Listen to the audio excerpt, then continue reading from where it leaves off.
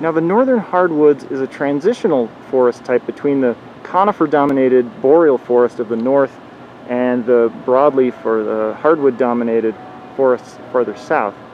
So we do have a fair bit of conifers mixed in with northern hardwoods, and one of them is eastern white pine. So this is an eastern white pine right here. Um, these can get very, very large indeed.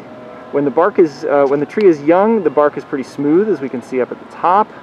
Um, but as these trees age, the bark gets fairly um, coarse, uh, platy, and deeply furrowed. If we look at the leaves, uh, the needles of eastern white pine, like all white pines, the needles are in groups of five, so five uh, per fascicle. And the needles are fairly thin and fairly soft. The cones uh, are a few inches long, maybe three to four inches long typically, and they're longer than they are wide. Like most white pines, they have sort of long cones.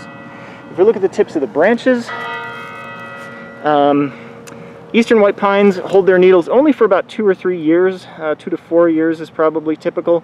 So you see the twigs here, they only have needles at the very tip, uh, the most recent growing parts of the twig.